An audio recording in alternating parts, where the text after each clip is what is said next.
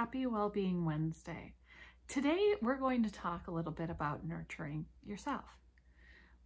I will admit, I tend to put everyone else's needs before my own. It's a problem, and I'm working on it.